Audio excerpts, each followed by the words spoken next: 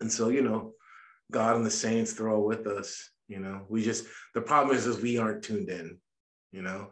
And once we get tuned in, and that's where like rhythm and, and consistency comes into play. Once we get tuned in, it's like, yeah, duh, of course God's gonna talk to us every day if we want to listen. We don't want to hear what he has to say all the time, but you know, it's he's talking to us.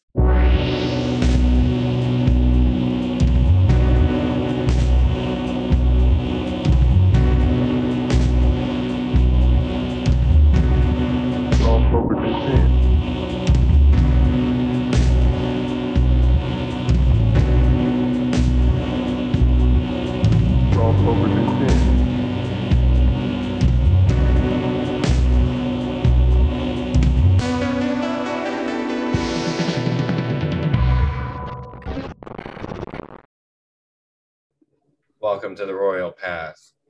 Uh, I'm your host, Andrew, and uh, we took a week off last week because I think we were talking about about maybe after every feast taking the next week off. We're not sure, um, just as a way of kind of celebrating. Um, I don't know if that's going to stick around, but also I got really really sick, so that was the real reason we didn't record last week. So um, I'm How sorry. are you feeling? You that. I'm much better now. Yeah, much look better. Um, you know, man, it was it was pretty hit and miss there for a little while. Um, Mm. but uh, my whole family got it except for my daughter, and whatever it wa- was, just as like, just like kind of, just couldn't breathe, couldn't like, Mhm. uh, just like kind of achy, no real big fever, just like just like enough to just kind of be a pain in the butt. Just kind of like be there, like right in front of your face, you know, at all times, to kind of be like, "Hey, I'm still here. I'm still making your life just a little bit more difficult." But um, Wait, Yeah, did you see. Spider Man in the theaters? oh yeah, That's the big joke. That's the big joke. Did you get did, did you get sick like a few days after seeing Spider Man? Um, no, but Okay, I could because that's see, the that's the big uh that's the big joke right now. I could Even. SNL did it. Saturday Night Live just had a thing on it too, where they were Oh like, ah, "Don't stop seeing Sp- Spider Man," because everybody gets sick after seeing Spider Man. Well, I did see Spider Man, but my son didn't, and my son was the one that brought it to us. So Okay, fair enough. my little little Nikolai, with his little pure innocent heart, got sick. Mhm. I think actually on like Thursday, and by Saturday we all had it. So Yep. yeah, it was a little Nikolai. So God love him. Um, The joy the joy of children. yeah, for real. I mean, I'm not complaining. My immune Yeah. system's stronger now, so I mean, Yeah, I'm not exactly. worried about it. So As is as is his. As is his. exactly, I got Yeah. sick. You get sick. It just happens sometimes. It's Wait a minute. Wait, people get sick? You mean wait? There's sickness. has that has that wait that I don't remember that ever being the case. I don't remember anybody ever getting sick for a few days. We I never got that sick. had never happened. No, never. Never. never nobody had ever got like this. Nobody This ever got one sick. thing. This is all one thing. I used to wear a mask all the time. I, wore, I grew up wearing a mask, and we never got sick like this before. I was So- on I, I was on the swim team and we used to have to wear a mask on the swim team. Yeah. Um. Okay, so I kind of I just want to say this one thing. Forgive me. Please. I, I'm Oh. the feeling that the you know when SNL goes stale. You know what I'm talking about? Yep. Yep. I used to Yep. I used to watch Saturday Night Live religiously when I was a kid, you know, like, and then it's like, I don't know. I'm I'm just saying. I felt like around the time I was like, I'm not into this anymore. They would change the crew. You know what I mean? So Mhm. I'm like, okay, how many sick jokes can the world tell now? How like, you know what I mean? We've got we've got to find something else because it's just like, you know, Well, bring they've out changed. the- They've changed out some of their crew. they're, they're it out. changing out the crew a little bit. Yeah. Yeah. They're changing out the crew a little stop bit. making jokes about being sick, Father? What's that? Are you saying we need to stop making jokes about being sick? Well, I'm just saying the whole world is an SNL skit. Yeah. Yeah. Basically. And and the crew, it's just like, you know, that that kind of theme and running gag of like That's the like- sickness. A modern retelling of that Shakespeare quote. Like it said, the world is a stage, the whole world is an SNL skit. The whole world's an SNL. Well, that was the funny thing about that, or the ironic thing about that is that was the cold open for this week. I don't watch SNL, but somebody was like, "Oh no, you got to see this cold open," and it's basically one of the new cast members playing Joe Biden, and he is and basically what it comes down to is that uh this whole that it's a multiverse and that this particular universe is a complete was made as a joke the one that we're in. Oh my gosh. so it, it actually is that. That's they actually say like and he's going into all how ridiculous everything has been. And so the person that i saw this from was like oh i think it's wrap guys. Like i think we're moving on to the next thing whatever got to next thing is. because uh even snl now is like yo all the, he's there's one point where he goes what do you mean? You gotta walk you walk into a restaurant wearing a mask and then you sit down and you take it off the whole time you're eating but then if you want to go to the bathroom you got to put the mask back on what is there covid in the bathroom and it's and it's snl as joe Right. biden doing that Right. See, so that's like a flip it, it- it's it's wild too because I'm like the narrative, like the mouthpieces are now picking up the the deconstruction of the narrative, right? So Mhm. you know the the And that has to be allowed, right, Father? for for the next the next act, you know. Mhm. Yeah, that like has Yeah, yeah. I to mean, allowed. Like, yeah. yeah. You know, my my spidey sense is tingling because like Saturday Night Live's been coming up a lot recently. Hmm. Um, and like I don't necessarily know what this is. I have no idea. I just pick up on it every once in a while. But like, because there's the pizza thing, the uh almost pizza or whatever it was. Cyprian, have Pizzagate? What's that? no not pizza gate you're talking about like what is what is this No, no, no. The it was almost pizza where he's like, "Is it food?" He's like, "Come on, just try it." And he's like, "I'm not eating this." Oh, Yeah. Was that SNL? That's SNL. And then no. yeah, it's Bill But Hader. with the with the mom, the mom's like, That's an really? SNL skit. Yeah. That have you seen that, Cyprian? Oh man, it's good. Yeah, it's real It good. no i gotta watch it watch Oh man, it's- Almost pizza, and Bill Hader's like, "What is this?" And she's like, "It's it's pizza," and he's and she's like, "It's almost pizza." Oh, so it's like tofu pizza. She's like, "You can still put tofu on pizza and legally call it pizza," but she's like, Oh, "No, no, no, this is almost pizza." He's like, "Well, is it food?" She's like, "Come on, try a piece," and then he's like. I'm not going to eat this. It keeps getting hotter. Why is it getting hotter? Yeah, I- he's like, why is it getting Oh. hotter? Yeah. And then she's like, he's like, it smells like pizza. And she's like, that was their intention. He's like, who? Whose intention was it? And she's like, just try some. It's not. And then like at the end, he smacks it out of her his daughter's hand. His daughter goes to get a piece. She's like, oh, pizza. Yeah, and then it and he's just like, falls "No." and breaks. Oh, Oh, it He breaks? smacks it out of her hand. It hits the ground and shatters into glass. Yeah.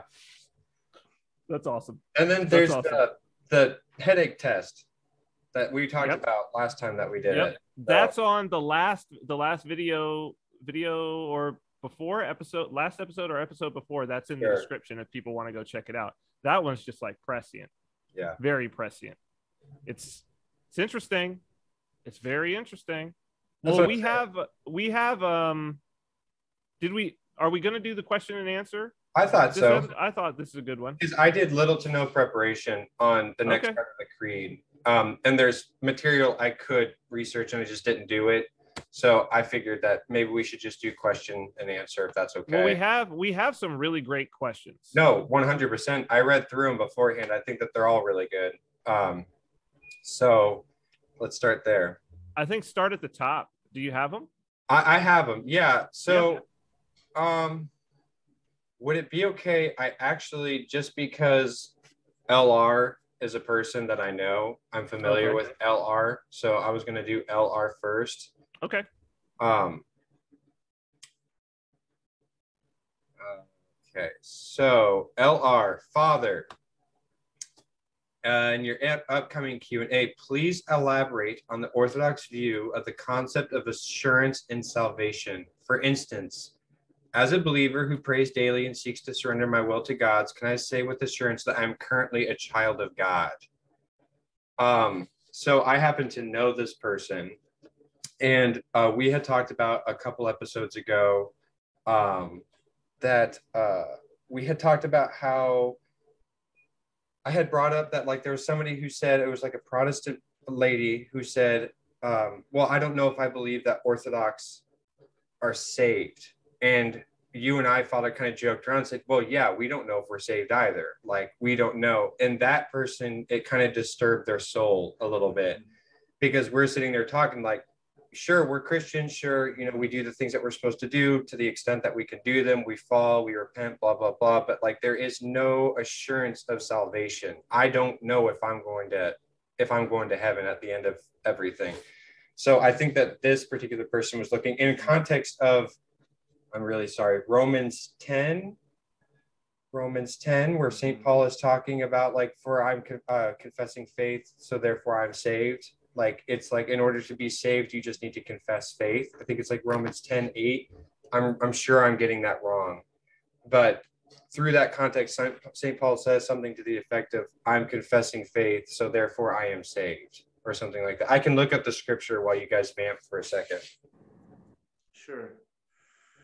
Um, well, there's so many ways to tackle it. I, I, think one of the things that is important to understand is um, kind of deconstructing where that um, idea and need for assurance and salvation, this context comes from. Um, I think that, you know, the one of the best ways to understand this is to understand what what is salvation. And not looking at salvation um, as a, a, kind of destination um, or also looking at salvation necessarily um, that's earned but rather understanding salvation as relation.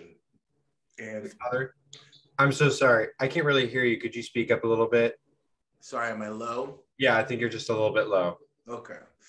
Um, so understanding salvation as, in, in return in terms of relation, relationship, right? And, and I'm I'm I'm gonna kind of work with a pun here, right? So relationship to God, right? But also in relation to you know the intention of our of our being how we were made how, what what was god's intended purpose for for man to be created. When you understand that then it begins then you can begin to understand salvation. So in order to be saved you you can't salvage something that is inherently you know bad or broken or evil right to salvage something means to keep something that keep something that has value from not simply further corruption but to restore it to its former glory its former purpose right? That's you save something. It's like um, i don't know if i need to go ad nauseum to it but you know it's like if you're making an apple pie right and you've added too much sugar or something like how are we going to save this pie right well, if you say that, that means like, oh, we can still try to do something, but we need to do something, right? So we're going to add other ingredients so the sugar isn't overwhelming. You, you get the point, right? But you know, you don't you don't say you don't look at a pile of excrement and go, how am I going to save this? You flush the excrement down the toilet. No one ever says, what am I going to do with this excrement? Like no one ever thinks that. Well, you get what I'm saying. Sure. Yeah. Someone makes a mud thatch roof out of it, but point, you, you, get my point. Sure. So, anyways, so when you understand that, then we can kind of go down this road a little bit because this experience, Saint Simeon, the, the new theologian, he he talks about how um, believers must have some examples, some experiences of salvation, the, the connection with God, um, the deification, the life of God in this life. Like you, you have to have it. If you don't, some flash, some glimpse of it, then you should be worried. So in that context, this is this is the closest I think we would like to go to talking about assurance of salvation. When someone like Saint Simeon the New Theologian talks about, well, if you are in God, in Christ, you will have these experiences which will show to you that you now here's the thing being in christ is a present tense thing So we will say, you know, God has saved me, right? God is saving me now, right? And by his grace, I'll be saved, right? The problem that um, LR and others might have is the, the future portion of it. And the reason, simply put, why we can't do that is because number one, we're not God. And although God is faithful, even when we are not faithful, and although all those who call the name of the Lord shall be saved, we have to understand what that means. Because what about the scripture that says, you know, in that day, many will say to me, Lord, Lord, did, did we not cast out demons in your name? Did we not work miracles in your name? And I will say, Depart from me, you workers of iniquity, I never knew you. Right? Um, there's there are those who walked with Jesus and then walked with him no more, including Judas and including se- several uh, uh, several of the disciples who left him at around John 6. You know, in John 6, 6, 6, it talks about interesting call, call number. It talks about those who mm-hmm. no longer walk with Jesus anymore because he gave the word about the Eucharist, about it being his body and his blood. And they said, This is a hard saying, who can hear it? And he didn't re- he didn't rebuke them, he didn't excuse it, he didn't explain it. He didn't say, Well, it's a metaphor for this that he left it alone. And many couldn't receive it and they walked with him no more. So there are people we know, including Judas, right? Judas saw all the miracles that every other apostle saw. I think I've mentioned this before, but um, it's in the, I want to say it's on, and forgive me, bad priest. I want to say it's on on Holy Friday. Yes. Um, yeah, I know what you're talking about. Yeah. yeah, but but there's the there's the hymnography about Judas, and he's just like, hey, what miracle did I show the apostles that I did the others I didn't show you? Right? Jesus held nothing back from Judas, knowing fully well who he was the whole time, right? He was lost. So I I, I think the question is really understood better in the context of where the motivation coming from, right? Um, a man and a woman in a healthy relationship, a healthy marriage, right? there is this understanding, you know, ride or die, to death do us part, right? But that understanding to death to do us part, well, we know what happens if the husband takes that for granted, right? We, we, we know that story all too well. We know what happens if the wife takes that for granted. We know that story all too well, right? Well, it's the same thing with God. You know, people can say, hey, I'm saved, and people do this. I'm saved, and I'm not talking about them lapsing into quote unquote, you know, the the um, I used to hear this term a lot, quote unquote, cheap grace, which is just all bad theology, bad statement. But you know, don't don't just kind of ride on being quote unquote saved. But see, the problem with that is, is I'm not even talking about people who say like, oh yeah, I believe in Jesus, and, and they do, they live like hell. I'm talking about people who are missing out on the illuminating aspects of the life in Christ. If you move away from this idea of saved or not saved and just get into this understanding of depth and, and growing in your knowledge of Christ and experiencing the grace, the energy, the, the, the life-giving energies of Christ. Um, if we if you just focus on that, then what you'll find is this idea, this question of am I saved or not, takes on a different tone. It's not that you won't ever ask it, it's just that you'll understand how great and holy God is and how fickle we are. Right? And that that humility is necessary. It's it's a necessary requirement because we've all anyone who's been honest about it, we experience it. And we see it first and foremost in the saints. The saints have this humility and reproach to their salvation. So therefore, since they have that humility, right, we should seek to emulate it and to understand why that had why they had that type of humility. Now, I'll say this one thing too, because it's it's always both and not either or. The saints also had a confidence in their in Christ's mercy. So I think that it can be a misnomer to, to hear us talking about certain things and run with it too much to the left or to the right. Because I have I have an incredible amount of confidence in in in the Lord's mercy and his grace. And when I mean by grace, I mean his ability to work in my life and to save me. Right. Um, you know, I, I not to scare, I mean, I have Romans 8, 38 and 39 tattooed on my throat. Right.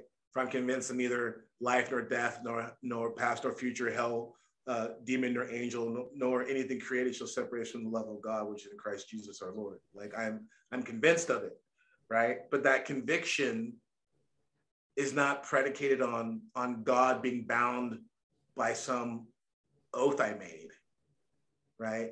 It, it's it's it's contingent upon His mercy, His love, which has been laid out for all, but but my willingness to accept it and to receive it, right? So, in summary, it's kind of a little bit like it would be a requirement to almost be like, well, I'm not, it's not a required state of being a little bit to be like, well, I'm not sure I am saved because I am fickle, because I am fallen, but at the same time, I have incredible confidence in God's mercy. Mm-hmm. It's like, I'm bad, God is good, I'm trying, you know, that type of right. thing. Yeah. So, it shouldn't really be disturbing. It's more just like I think I think maybe it's a little bit of a response to um, this idea of like you say those seven magic words or whatever they are. I confess Christ, Jesus, right. my Lord and Savior, and you're good.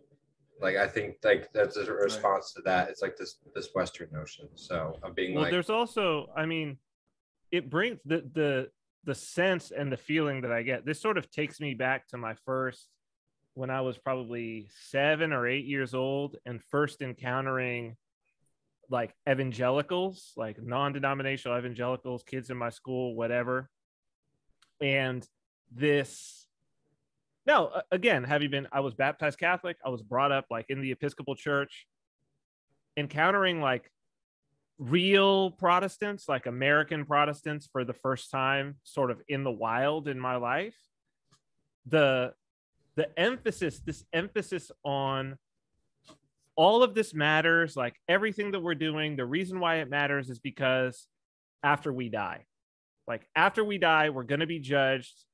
You, you need to be concerned exclusively with this, and everything is leading up to that, right? Like that, that it wasn't this idea of, as you say, like salvation in the present tense, that the idea was no, it's going to be a horrible, horrible experience. There's going to be nothing redemptive about it. Life, I mean, life is going to be a terrible experience. There's going to be nothing redemptive about it.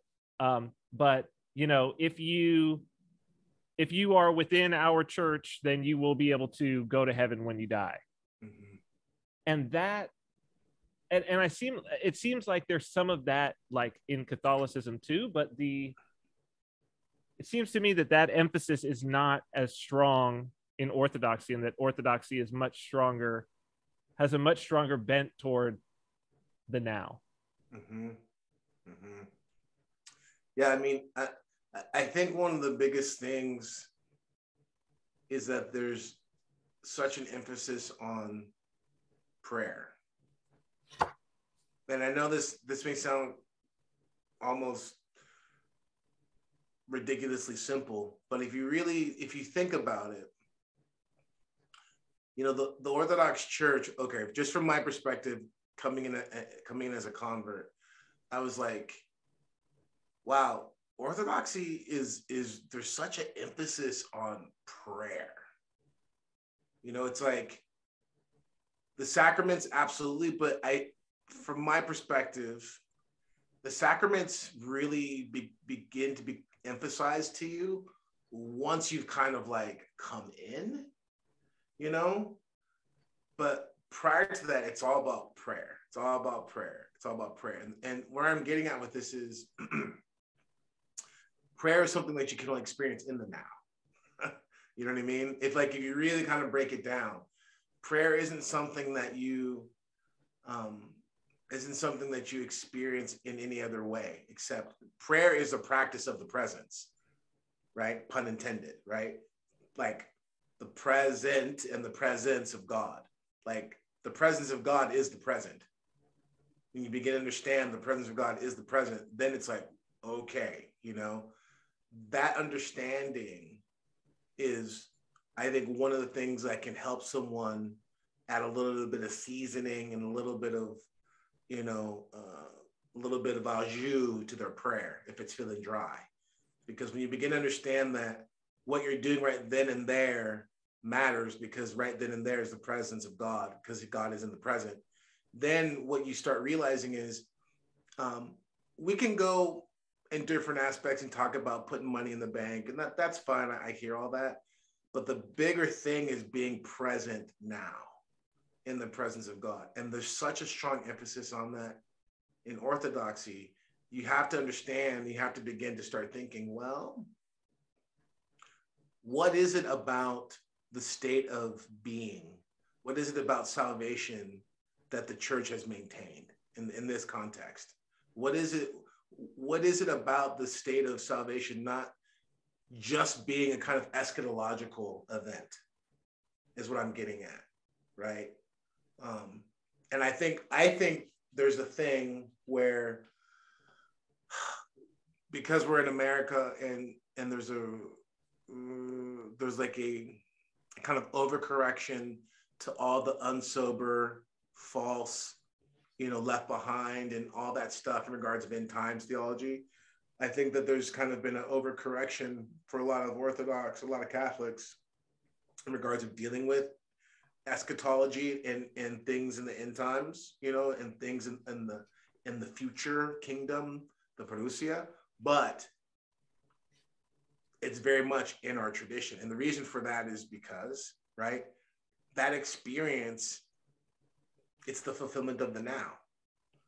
Like the saints are in that perpetual now all the time. You know, when St. John Maximovich appears to someone, right?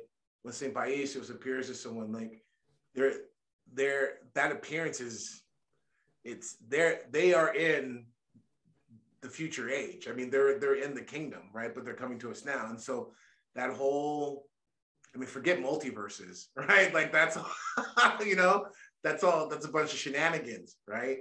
That that's the real deal right there, and and it's it's really moving in and through and out of our understanding of time, right? You move in it, through it, and then out of it, and that's really key.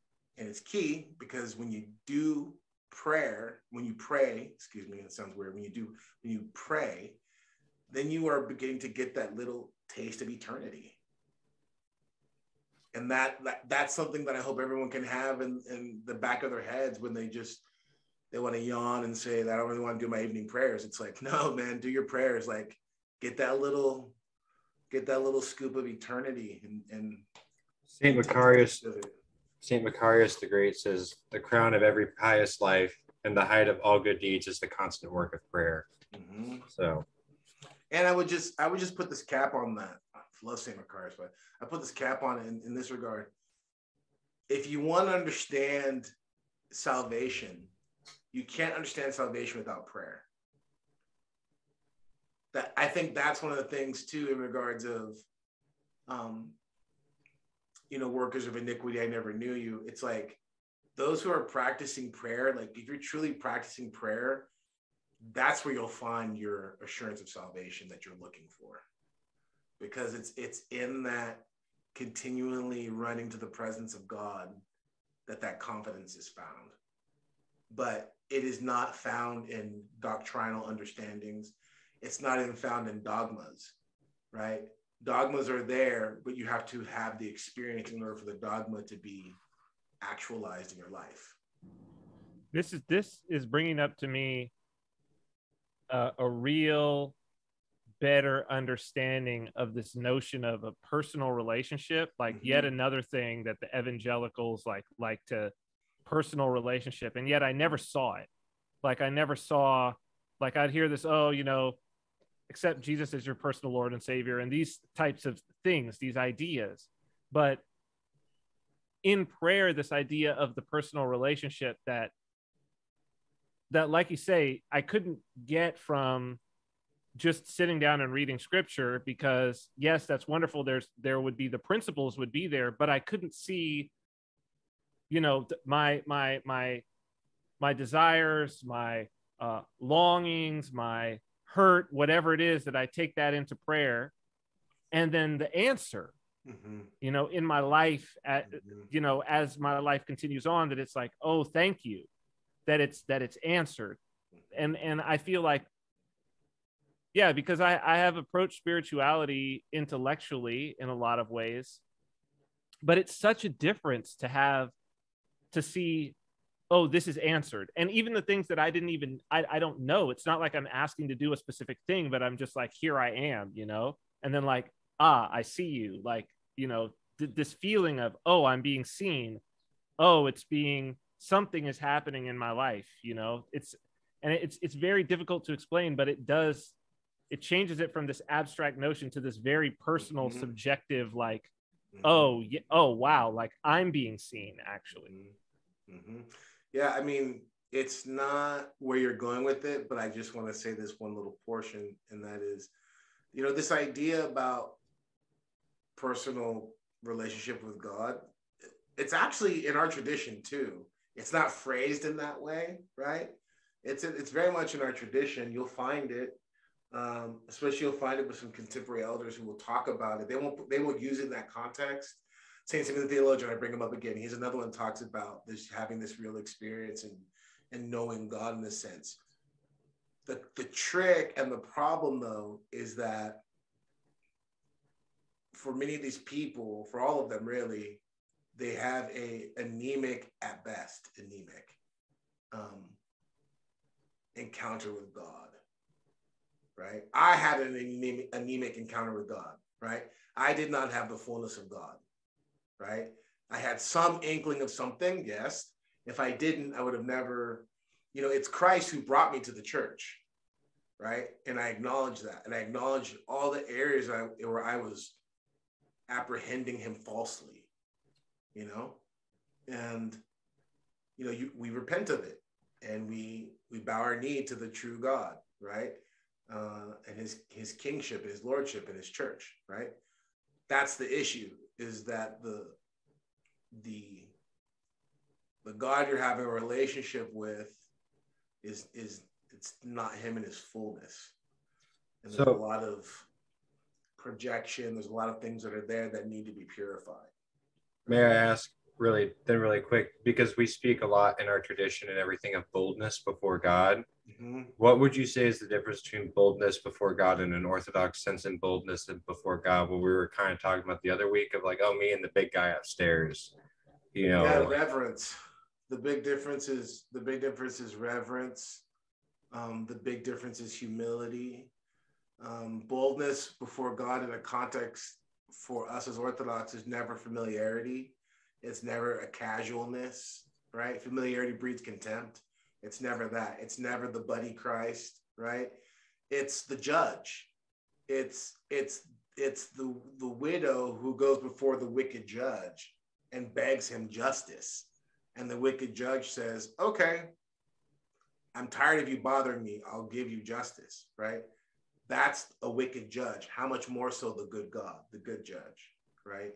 So that that widow having that boldness before the, the wicked judge and begging him justice, right? That's our boldness, right? That that's that's our boldness is is in that example.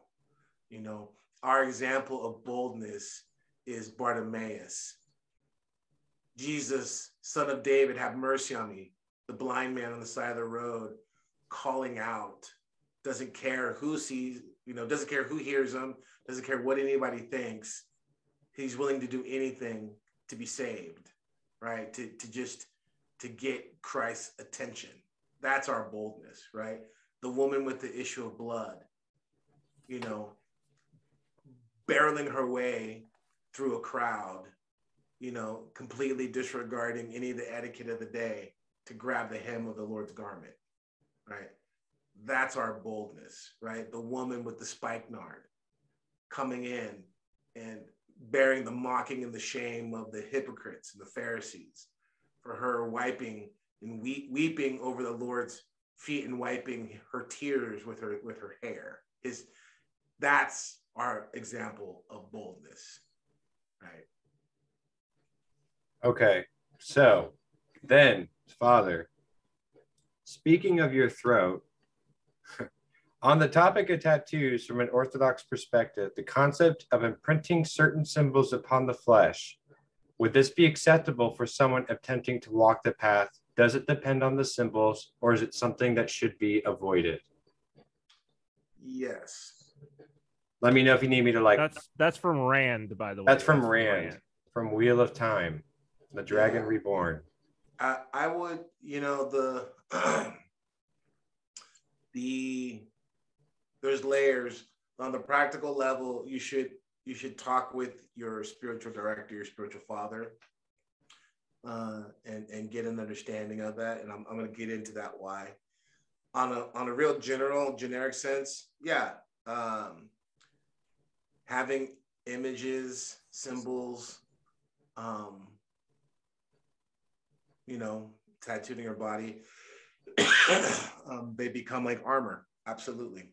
Um, but the sword cuts both ways. And, um, you know, the thing is, the tattoo thing is interesting because the problem that we have with this question actually is, I think, more about the time we're living in than anything else. Because we're living in a time where the proliferation of not just tattooing, but images is so great in regards of not the quality, but the quantity, right? The quantity, like you see it everywhere. Images are so watered down. The power is taken from it. The power of tattooing is is really, I mean, it was watered down because of the the faddishness of it. You have to kind of suss that out first. Um, and there are these aspects to it which I, I think are absolutely necessary f in order for it to have any type of efficacy and, and validity.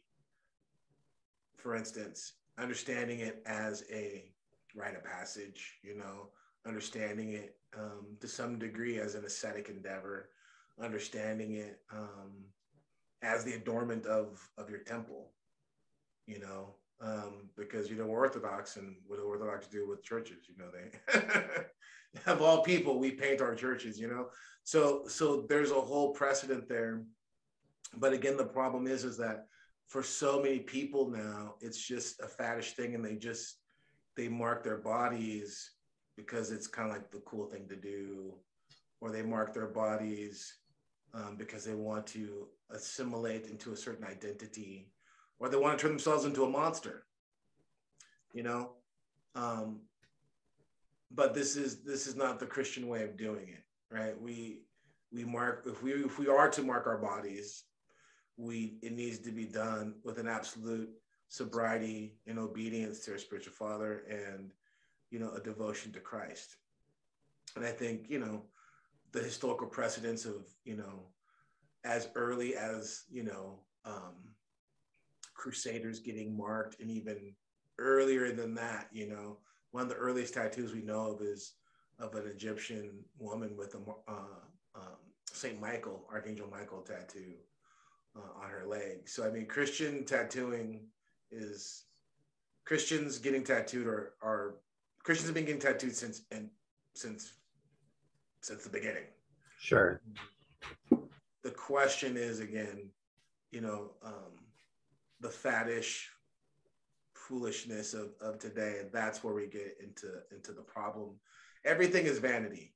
Everything is vanity, and so of course there's a there's a vain aspect to it, and and you can't get around that, you know. But there's a vain aspect to everything, um, and so I think for someone who's contemplating it, I would say you know prayer, patience understanding what you're going to mark your body with, the symbol, what what's the purpose, how's it going to affect your life, understanding who's going to do it. That's another thing too. You be careful about who's tattooing you, not just because of the quality of their work, but who they are as a person, because you are forming a very intimate bond with someone, um, and it's it, some very um, interesting situations can arise from that. And I would just discourage anyone from getting a tattoo from someone who they wouldn't have a, a, greater measure of trust just beyond the tattooing, you know, them as a as a person morally and spiritually. Because those things things can be transferred between you and someone who's who's cutting you um to, to, be very you know uh, Do you have like a short example of that? Like, I don't understand like what that would mean. so you have to understand that the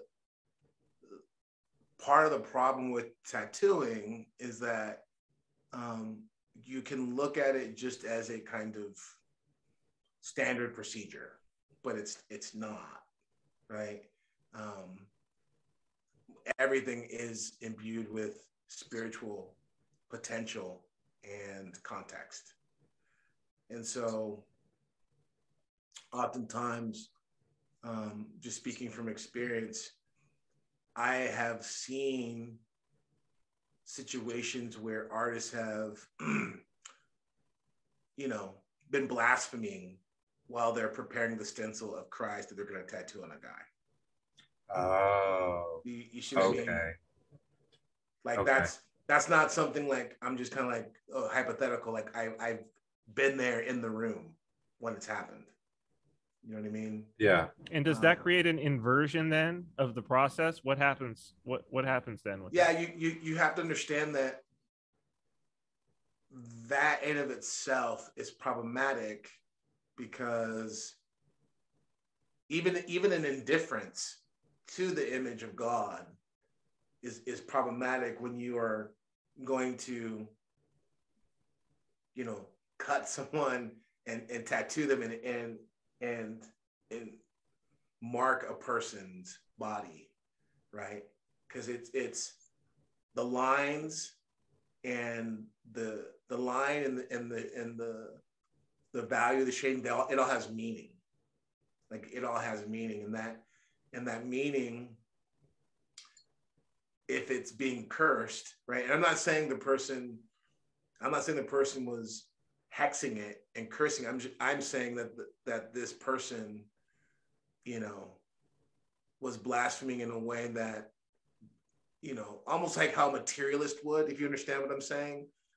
But that doesn't matter. you know what I mean? That doesn't make it, that doesn't, that doesn't negate what's happening there. Right. And it doesn't, it doesn't negate the fact that if someone's coming in there, if you're coming in there as a faithful Christian, as a faithful Orthodox Christian, and you want something blessed and understanding what that means, not blessed in a superstitious sense, right? Because blessings aren't superstition. Blessings are spiritual, right? They they absolutely affect um, the material of, of what's being blessed, like absolutely, right? But that blessing, right? There is an inversion to it, right? There there is an inversion, and, and it can be as as simple and as little as you now have you can get a bad vibe, you can have a bad experience with that person, and now negative memories and emotions are attached to that image, which carry with you, which you carry with you for the rest of your life. And it's just one little crack of association, right? It's it's it's on the same level as when we, when we say you gotta be careful about what you're watching, gotta be careful about what you listen to, because those things they leave impressions on your soul, right? Those memories, those contexts, and those experiences leave impressions on your soul, right? And they can be very hard to um, you can never really erase them, but they they're hard to redeem. If that makes sense. So it's so it's more than the and it makes perfect sense even when you say it in that way like you could be someone could be totally materialistic about this and just be like look obviously there's you're imprinting more because there's pain involved because there's a process involved because there's something left from the process Right. You're clearly you're going to be imprinting the event it's an imprinting of an event that's happening and dep- and de- and then when you add in the spiritual dimension of these very powerful symbols very powerful imagery then it's like magnified would this be Yeah. the same for I- iconography as well would this Yes, would this but- carry over for an icon Yes, well, yes, but before we go there, I just want to I want to stop here real quick because I think it's really important actually.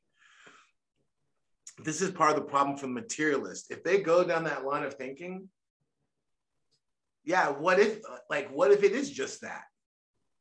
That's the problem. You don't understand that that is what meaning and reality and eternity is. do, you, do, you see what I'm saying? That, that yes, absolutely, one hundred percent. That's what they don't get, right? And and that's why I said this before, but like I'll say it again here now. Let's just be really clear with everything that we're talking about and all the stuff that comes out of our mouths. I experience all this in the most mundane of things. In fact, as someone, you know, who did the whole ghost busting and trying to chase stuff and like, I mean, so much of my so much of my pursuits in the quote unquote, you know, occult, blah, blah, blah, was this kind of pursuit of experience and, and, and all that. And what's interesting is the inversion of that, of deeper spirituality, is finding stillness, mm-hmm. is, is finding the profundity and the mundane. That is where the real discipline comes into play. And that is where the real mind blowers happen, right? I'll make it real simple. I knew my wife was the one for me because when I sat with her, I could sit with her for hours and not say anything. I didn't feel the need to entertain. I didn't feel the need to be like, oh, you know, like, okay, well, I'm kind of nervous. Well, let's do something fun, right? The one who just like always needs to have, you know, like, okay, let's let, let me entertain you. Let's have fun, this and that. That's not, I don't, I mean, and that rolls over into spirituality, right? These churches with the, the, you know, audio visual, the, the, the cappuccinos, the rock band, the whole thing, which I get it. I was there, right? It is it is such the opposite of actual spirituality. Not not out of some kind of Buddhist posturing, but because the reality is is that Saint Isaac the Syrian, right? Silence is the language of heaven. And when you you you don't know that until you actually experience it. And once you've experienced that silence, as he's as he's explaining to us and as the fathers teach us, then you begin to see, right? And this is why things like this is why the church is so adamant about children. The church is so adamant about you know fasting and fasting not being about um just simply you know not eating or what you're eating but simple foods right? There, there's there is a a pace that the church leads us into. Iconography iconography is a fasting of the eyes a fasting of the senses right? Especially for us in this modern age with again the proliferation of images everything is super saturated everything's pow like everything is just over the top overwhelming you and the icon it brings you to this place to, to a fast of the senses that brings you into the the simplicity and the profundity of the of the of the mundane. I just had to say that because it's I don't want people to mistake what we're talking about, you know.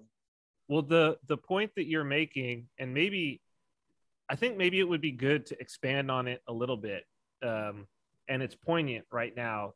The you know, I sent you guys this this uh, Substack article from Naomi Wolf, who's like, mm-hmm. you know, huge materialist. Yeah.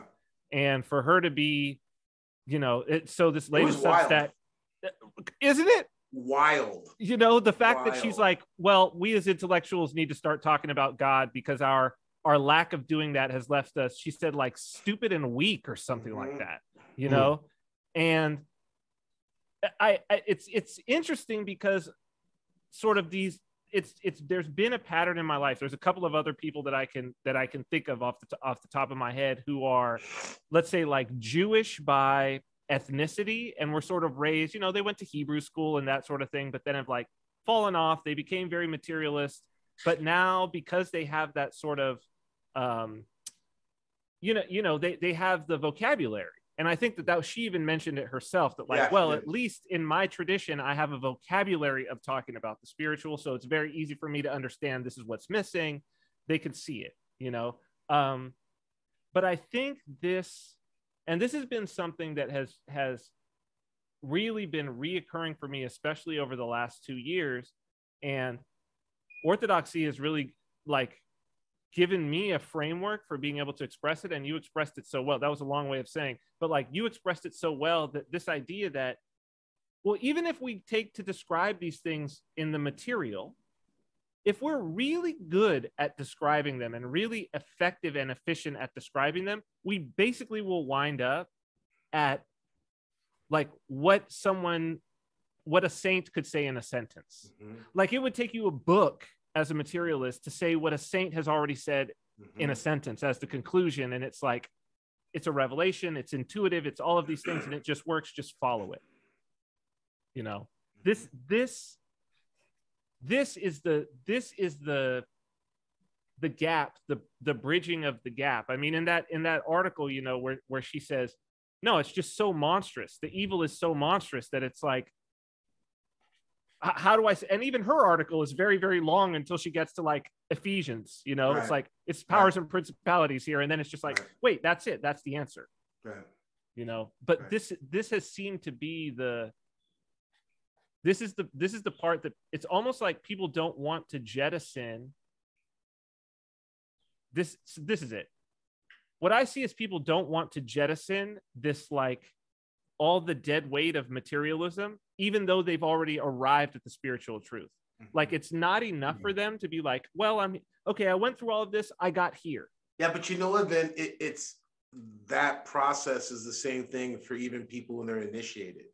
It's it's it's all a matter of veils, right? Moses had to wear a veil when he came to the children of Israel after he came down from the mountain because the glory was shining so so greatly off of him they couldn't stand it.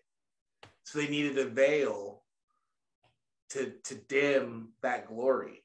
And so we're, we're the same way right? We need these veils to to shield us from the holiness.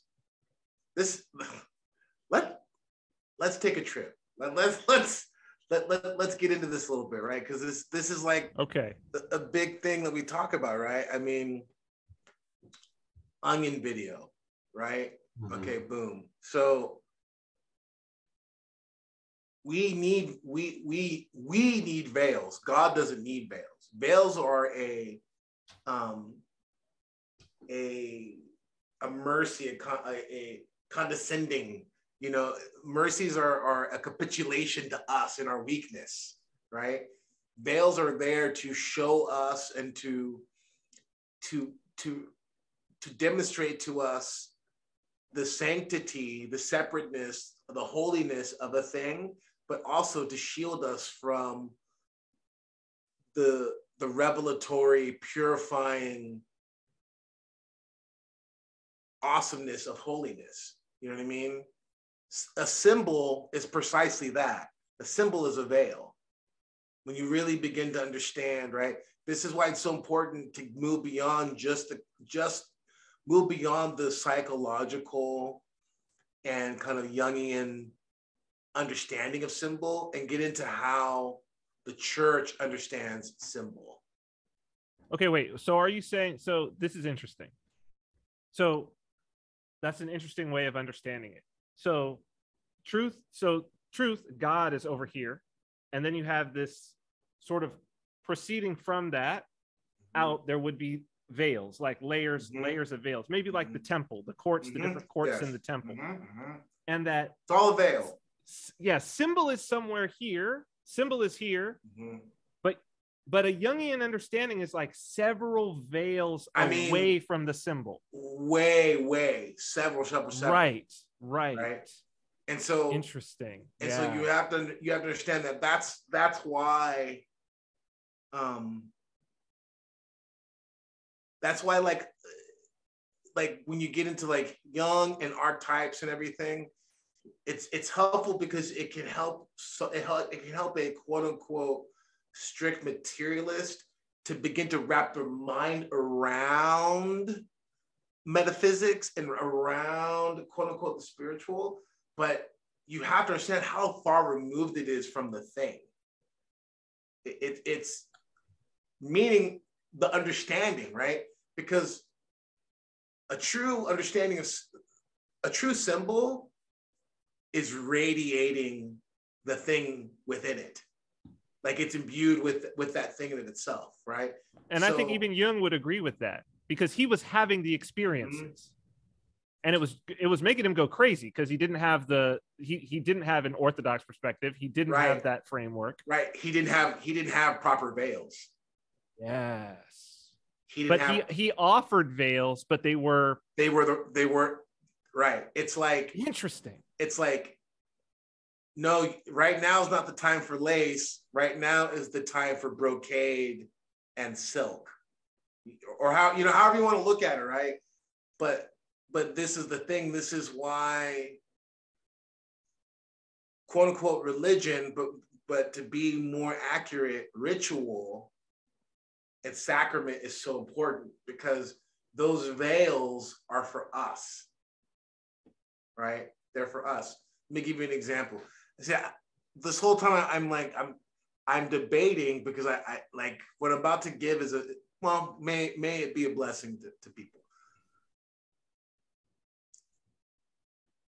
Words are veils and symbols. I might have said this before. You can hear a word from a saint and go like, man, that's really good. Uh, you can say like, man, that's that's you know spirit filled. That's that's divine, like divinely inspired, all that stuff. And, and you can you can go like, yeah, like that's good, right? Um, Saint Paisios says something, you're like, man, wow, that's really good, right? When Christ says something, it's it's you can't even compare the two.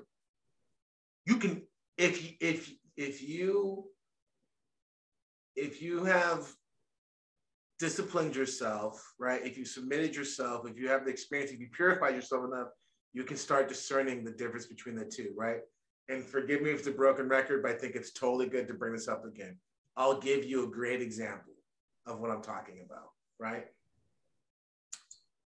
Um, my brother is my life. That's really good. You that's like, wow. That's simple, it's to the point. It's like it's got a lot of layers, you know? That's Saint Silouan. Saint Silouan said that. My brother's my life, right? Okay. Keep thy mind in hell and despair not. Whoa. I mean, you can feel it even when I say it. Qualitatively different. Okay. Well. It's deep. It's it's a mystery. it, it, it's like it's echoes. yeah, quality like keep that mind in hell and despair not. Here's the thing, right? Both of those words are come from Silouan. However, only one of them is one of them is actually the word of Christ. That's what Christ said to Silouan, and you can feel it. The words of Christ have certain qualities to them, right? There's they're true, they're beautiful, they're they're they're terrifying, they are um there is a there's a sense of paradox to them, there's a sense of eternity to them. When the Lord speaks something, it's always very simple, but it's it's it's never crude, right? It's never primitive.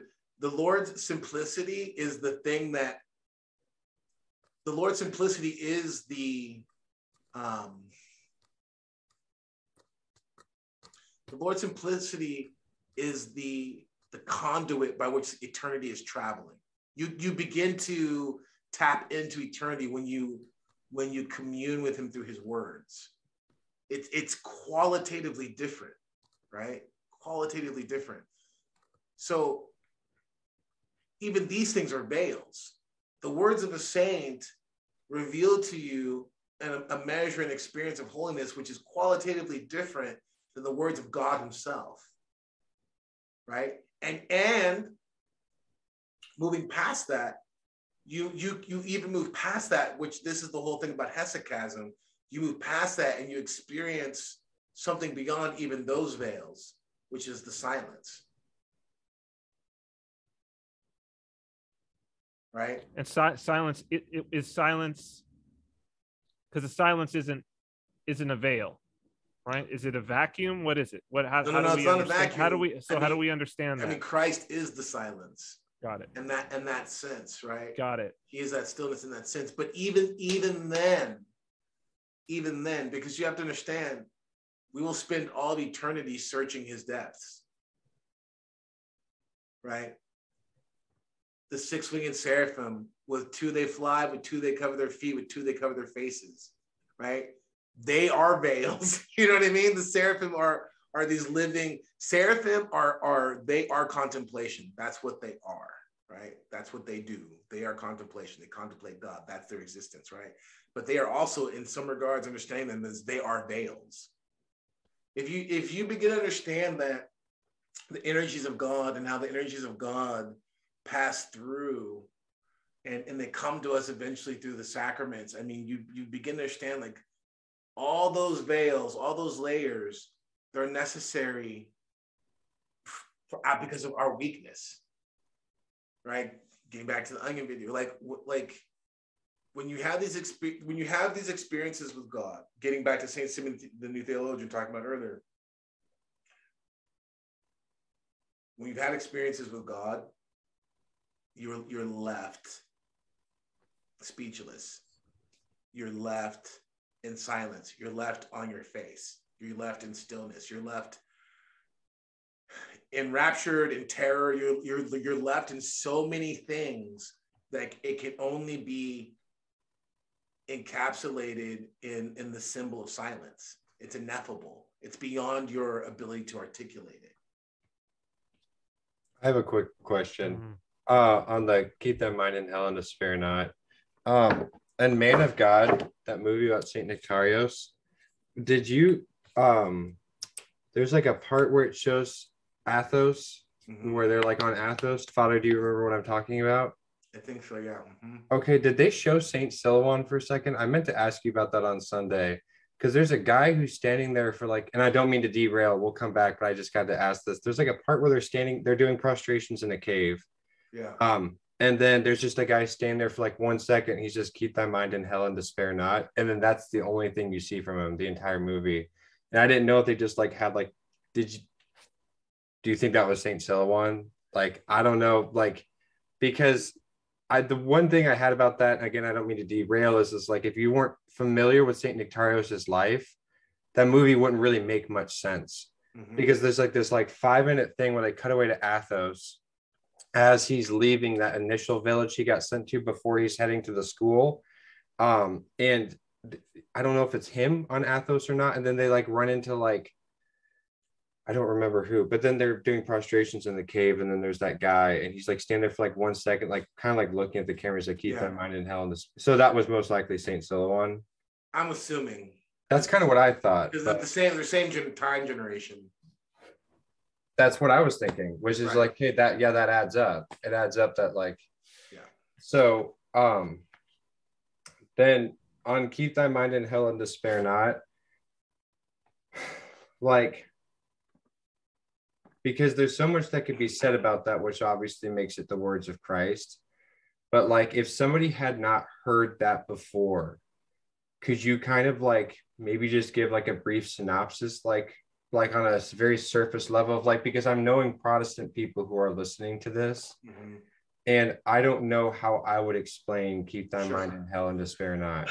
so, I mean, to make it real as much as possible, um, the context of that is that Saint Silouan, um, who was a very advanced, spiritually advanced uh, monk, had a had a very early experience of of Christ and received a lot of grace from that experience and lost it.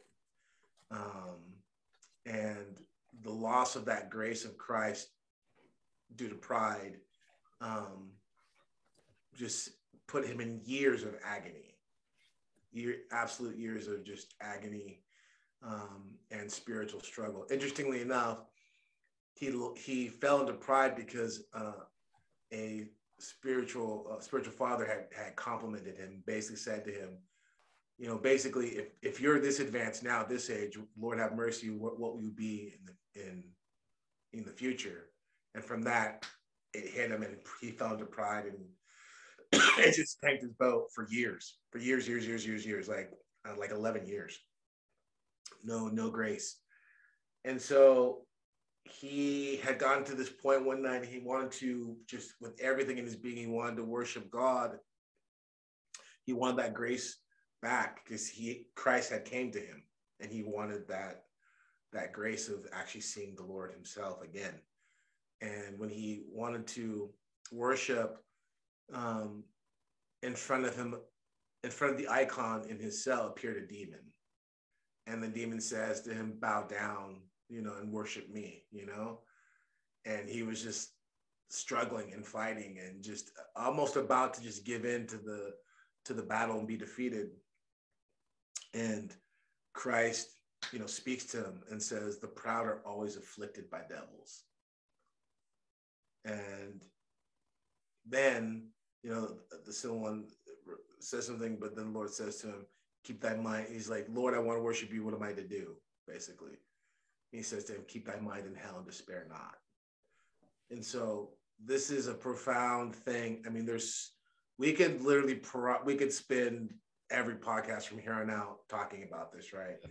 But to give some sort of summation, the best way for someone who is a Protestant to understand, or the best way for someone who's not Orthodox, the best way for someone who hasn't had um, a measure of initiation. They don't have a spiritual father, they don't have someone to guide them in this. The best way that, to understand that is the struggles that you're having, allow them to be for you humility. Don't leave that place of humility and trust that my mercy will save you. Coming back around to yeah, right? Yeah. Just understand it that way, right? Don't leave that place of humility, right? Keep thy mind in hell. Keep thy mind in this place of struggling and and and and and striving. And yes, does that sound counterintuitive to your experience? Absolutely does, and that's part of the problem. Mm-hmm. It's probably part of the reason why you're watching this podcast right now, because you've been swimming in shallow waters your whole life, right? But this is where the deep, cool water is. So that struggle with humility, that struggle against your pride and your projections, and even your your tendency to idolatry, all of those things, you need to spend your time fighting with them. And in doing so, the mercy of God will be revealed to you and you will have confidence in that mercy of God. On the idolatry front, because it was because it's been in, in my mind, I think it it's maybe especially right now, and as this comes out, what I'm seeing, and it's interesting because people are reaching out to me from all different sides and um, expressing to me their concerns about the various, let's say, the various groups that they're associated with that I have been associated with it at times. And the theme that keeps coming through is how how far to the right hand side of the royal path toward correctness people are are going as a reaction to the things that have happened over the last two years and in in a desire for i think as this narrative falls apart that's that's come from the, the wokes like a desire for retribution in some ways, a desire, eh, you know, but latching on to the correctness as like, okay, and now we build, and now don't forget, don't forget what they did. Don't don't forget, we're not gonna forgive. And here's the this purity test of whatever, and it's this this, but it seems like all of the things that they're gravitating toward, and the way that they're approaching them and perhaps this is happening in orthodoxy uh, being here on this island i'm far enough removed. And i mean this this would be whatever. Maybe there are some people within this as well but it seems like things that are being latched onto are not christ's. They're like they may be aspects of the church. They may be certain practices. They may be certain things that are done. They may be certain not the tradition but certain traditions that people are latching onto and but they're latching onto them in an idolatrous way. And i just or at least what appears to me from what's being described to me as an idolatrous way.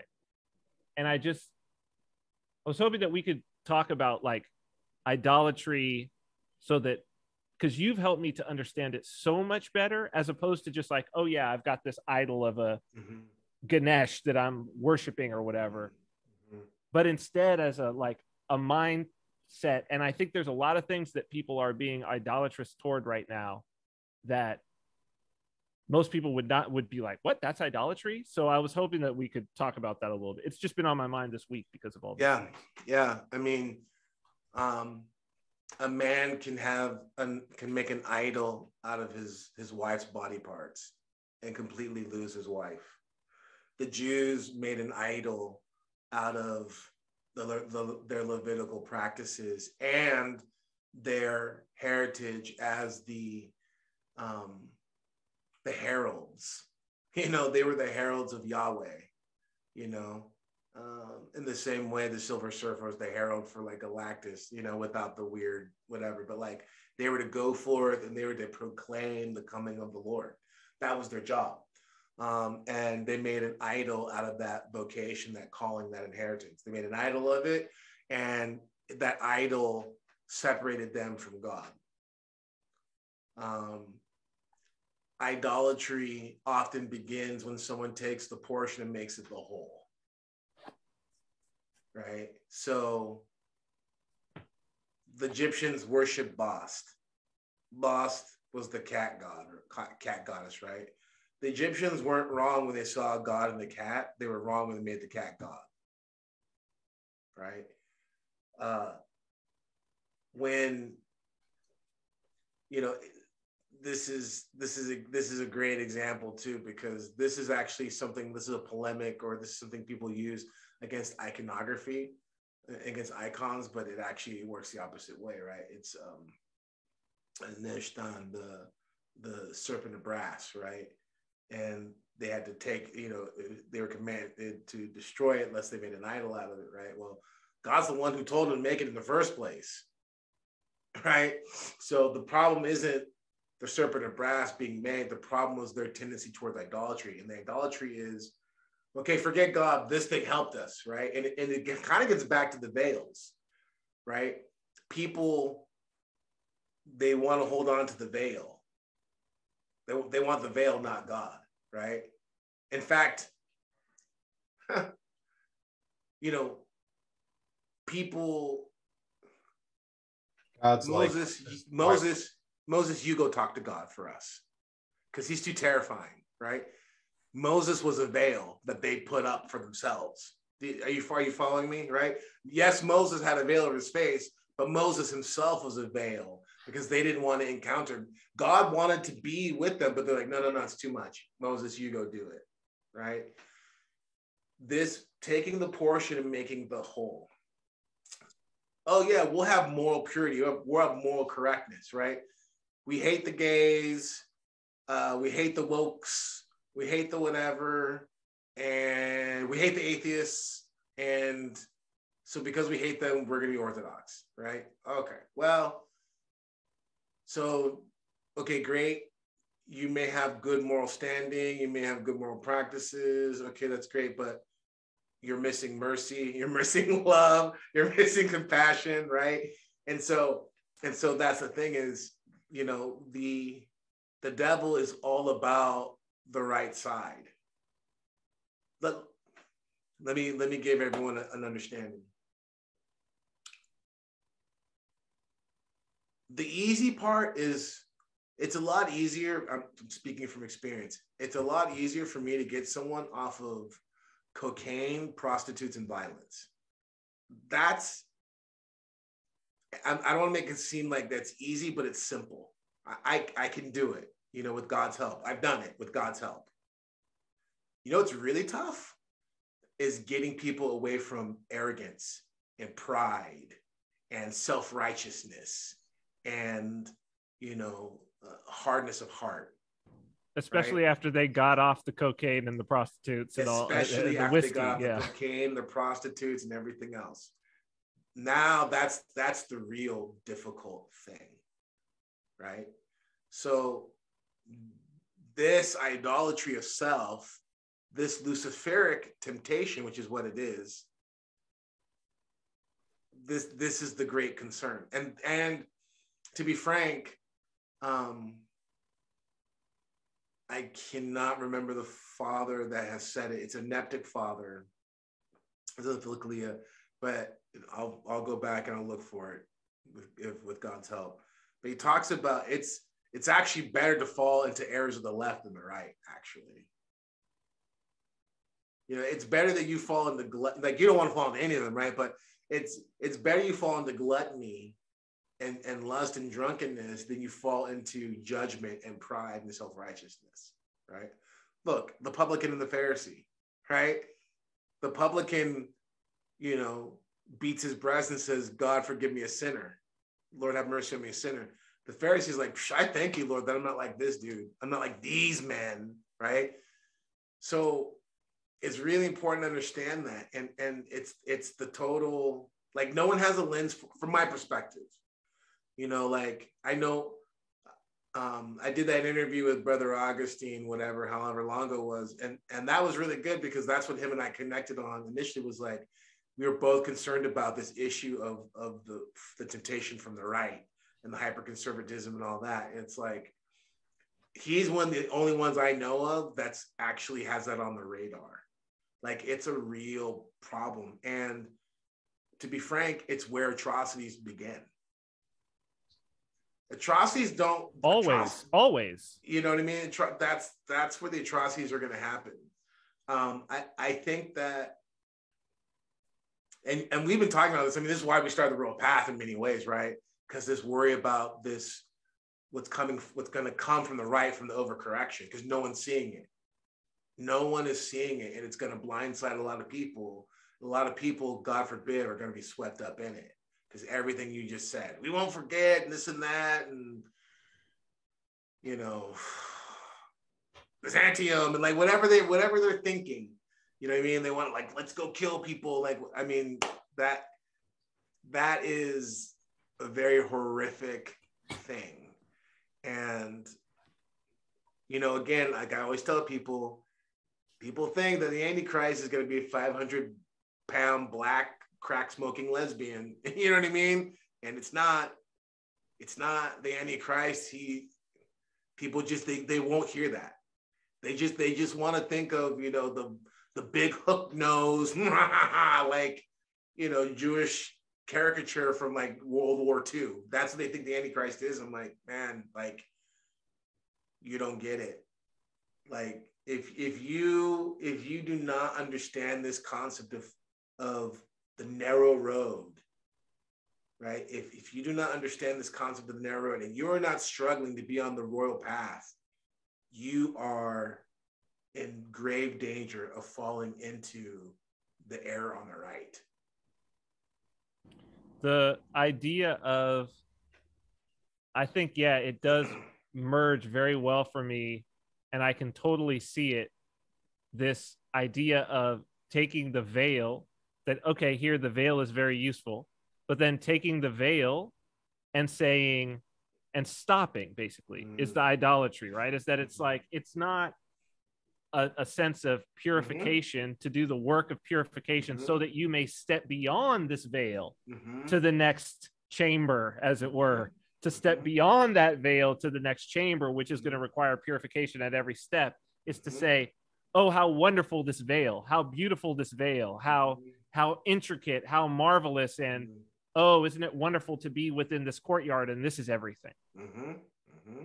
Right. As opposed to an idea of this, yes, this is wow, it's wonderful that we've approached into this courtyard, but still there's a, a another veil and that requires purification. Mm-hmm. Mm-hmm. Is and and that is the exact thing that is that's that's exactly it of what's what people are describing to me right now that's the exact the exact yeah and, notion. And, yeah. and I would just say this is something I bring up often. I know it's I know for a lot of people like it, it can be it's one of the things I, I don't think I do uh, I I do not think I do a good enough job explaining, it, but like that's why we're not moralists.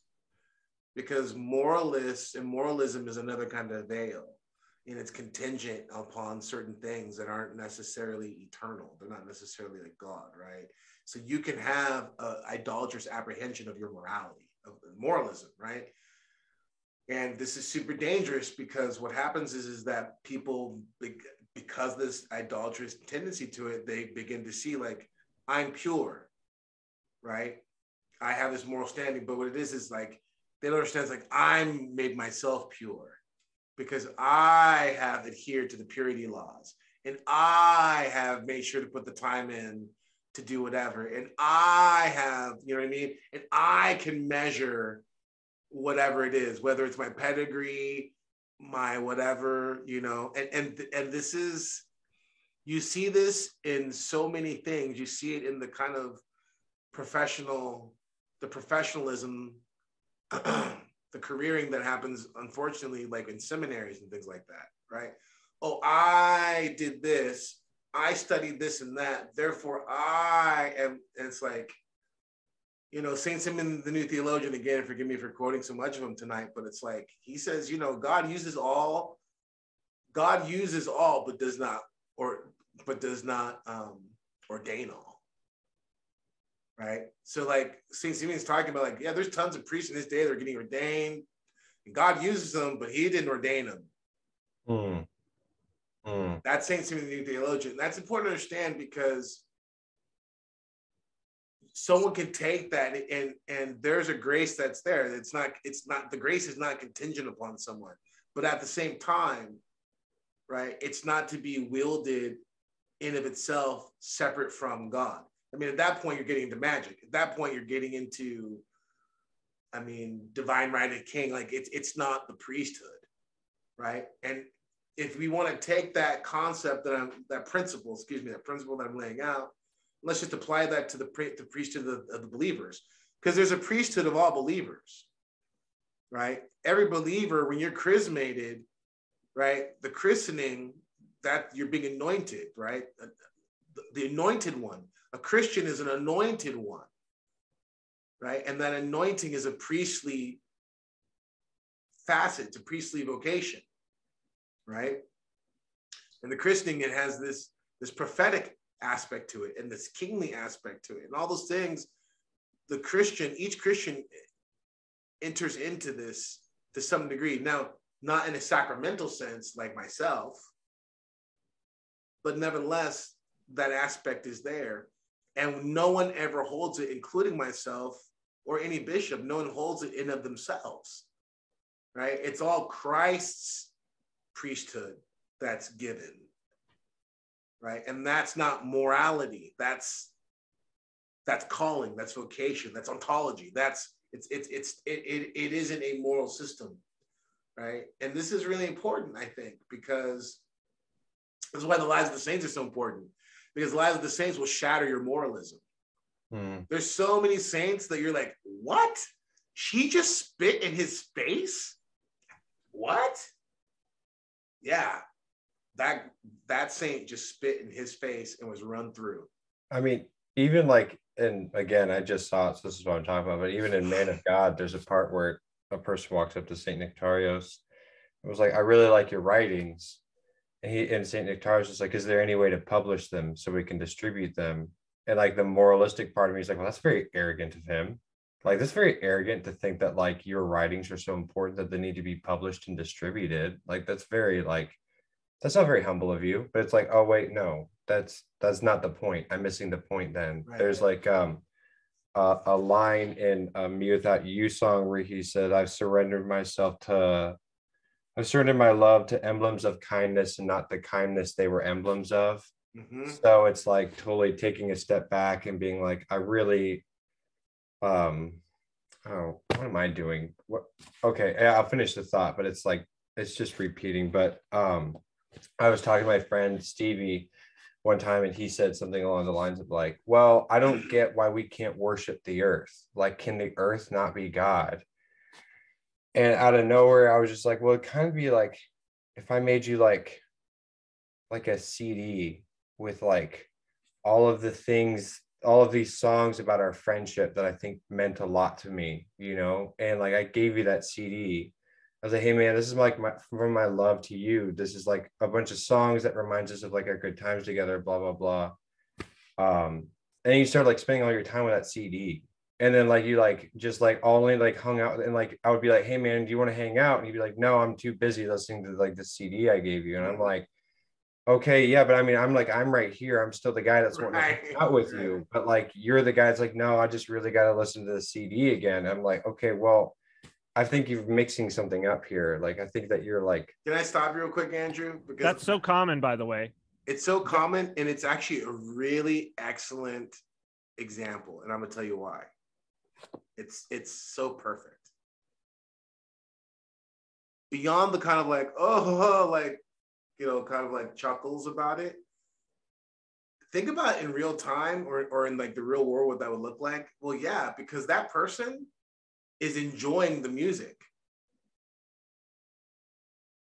They are able to, it's it's it's self-gratifying if you understand what I'm saying when I say that.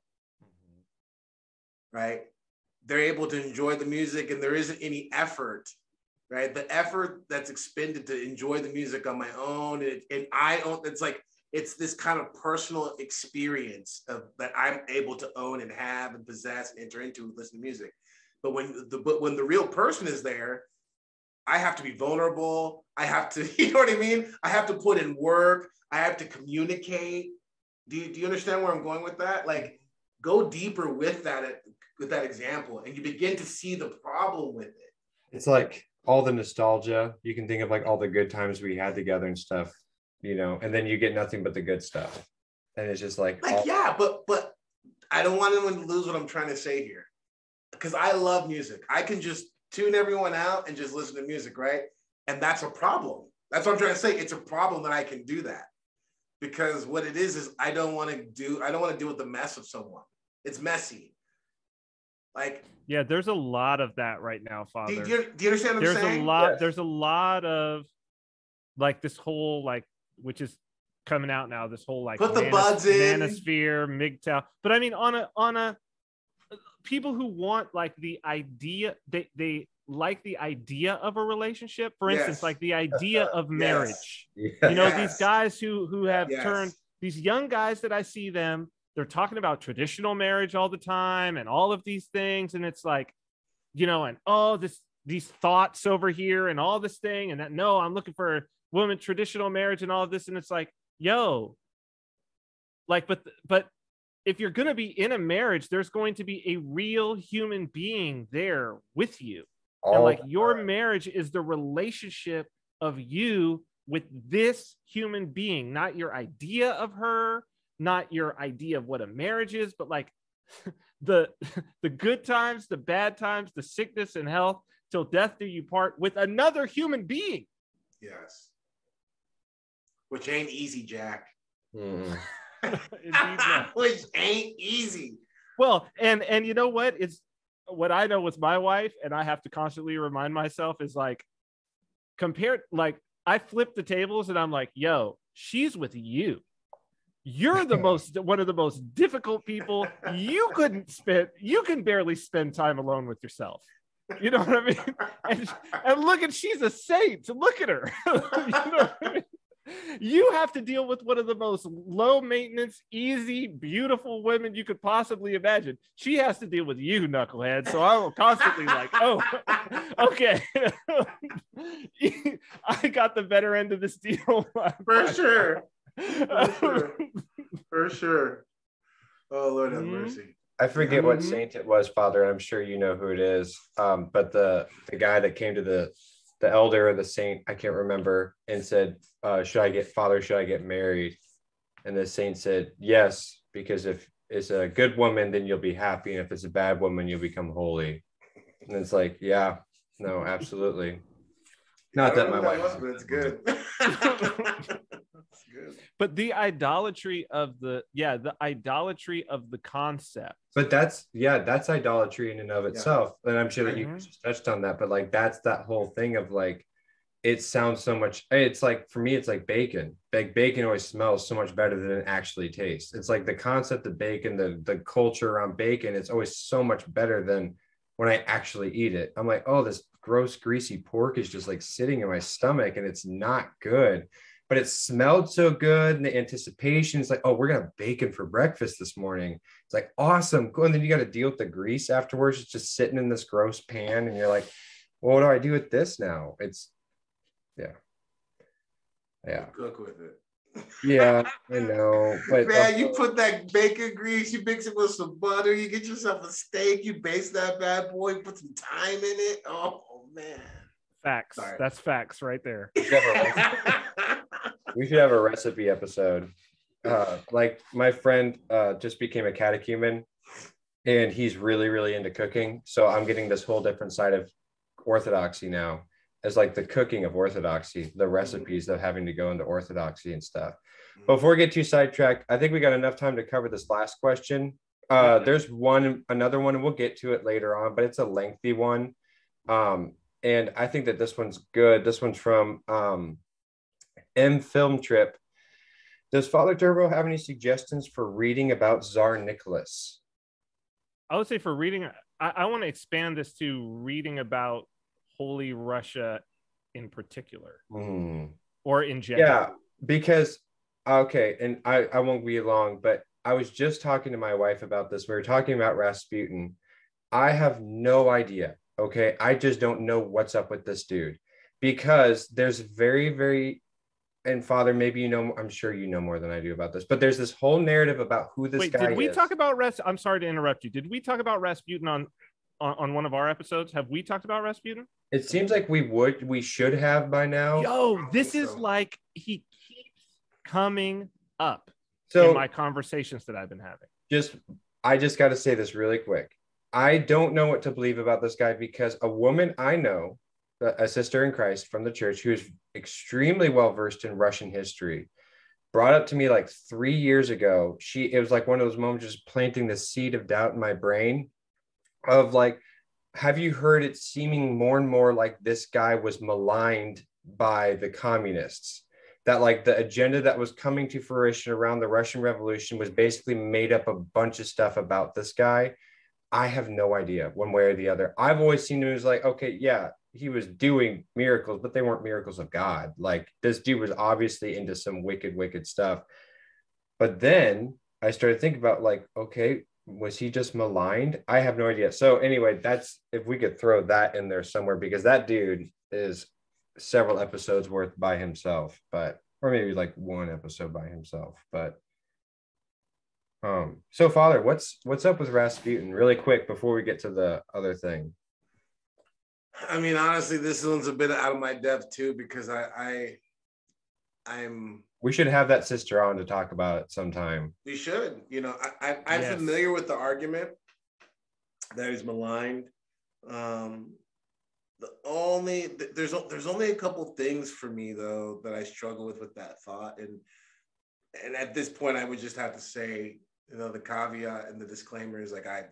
I'm just I'm I'm ignorant, you know, so I, I'm I don't want to comment on it because I don't know, but I know that the um, as I understand it, the cult that he was accused of being a part of was like a real thing, you know. Um, so I don't know, you know. I I'm going to plead the fifth on this one because I'm just I'm out of my depth on it in regards to Rasputin.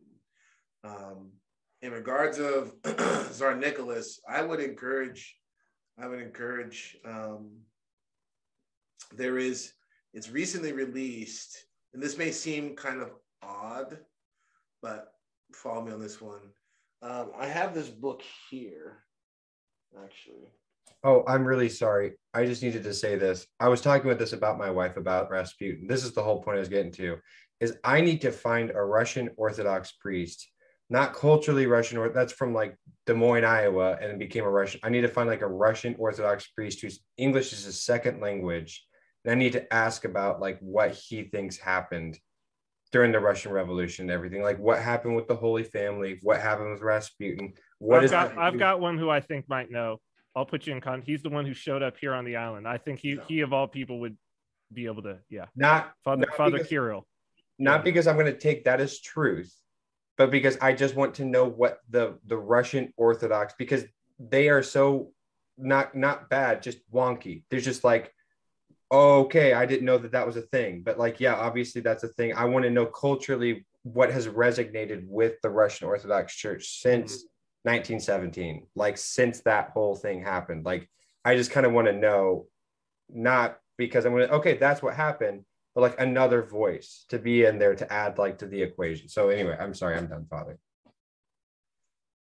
Well, in any situation like this, it's always good to pray.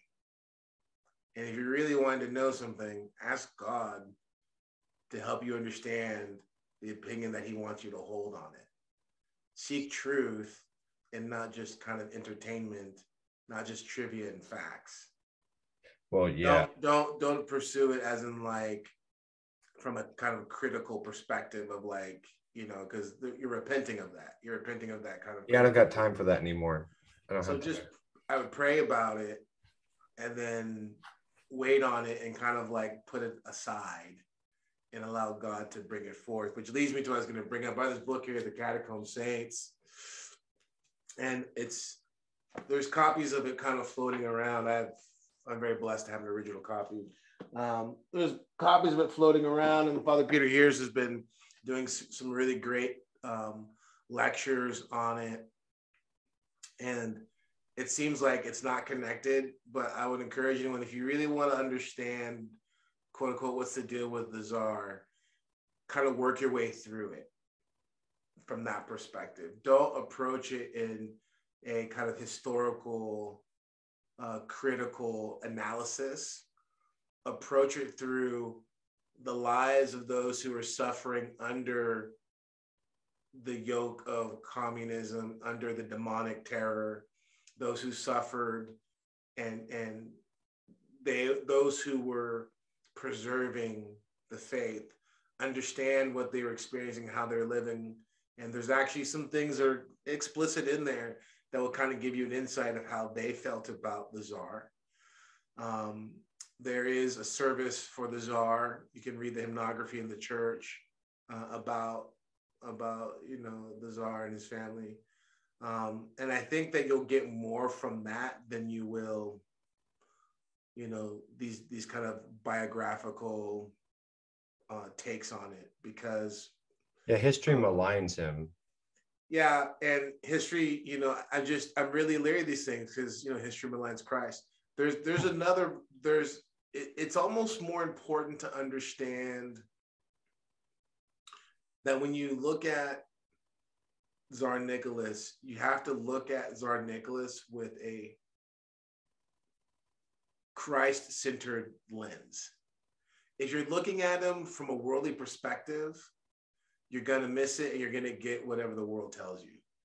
But if you look at it from a, from the lens of Christ and you look at it as you also look at him as that last Christian ruler, you'll start getting some things will become a little bit more clear for you. I think I think I'll, i want to end on this because again, um, I know people who are just experts in this. I'm not one, but I do have personal devotion to him, hmm. um, and I have personal devotion to him primarily through my personal devotion to Saint Elizabeth. Hmm. I, have a, I, have a very deep devotion to Saint Elizabeth, um, and I think when you begin to understand you know, one of the biggest things that many of us need to repent of is imbibing this kind of critical theory approach to things like monarchy. Hmm. And now I'm not a monarchist. I'm not saying like we need to bring the czar back. I'm not saying that, right? Because that time has passed now, and we need to.